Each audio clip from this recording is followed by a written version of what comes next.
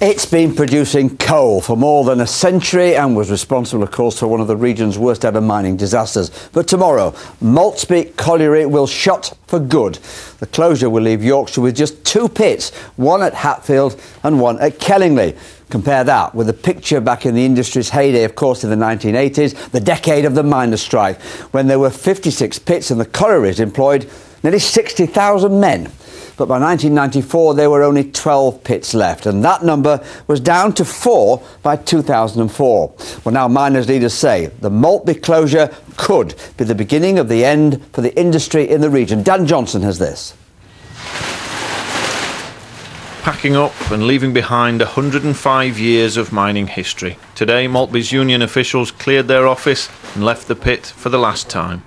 The sense is just sadness, really. A lot of men have worked here 20, 30 years. Um, I thought they would see the working life out here. Now they're having to make decisions in the life where they go, what jobs to try and find. Yeah, I've been told by uh, ex-miners who've got jobs elsewhere, they said it's totally different from working in a mine. We go to work, we have a laugh. It's, I wouldn't say it's always been a pleasure, but we've always had a laugh coming to work working in bad conditions, but your friends make it better, if you know what I mean. So I'm going to miss that as well. The mining industry's gone through huge changes as pits have closed, miners have transferred to different collieries, and now most of those who work here at Maltby don't actually live in the local area. But that doesn't mean the village won't feel the impact of this mine closing. Sizzler's sandwich shop used to get big orders from the pit, not anymore. Last order was probably a tenner. Before that, when they were ordering, when they were all working, it was like 60, 70, 80 quid. So it, that's like twice a week, so it is quite a big difference. Underground geological problems made mining at Maltby impossible.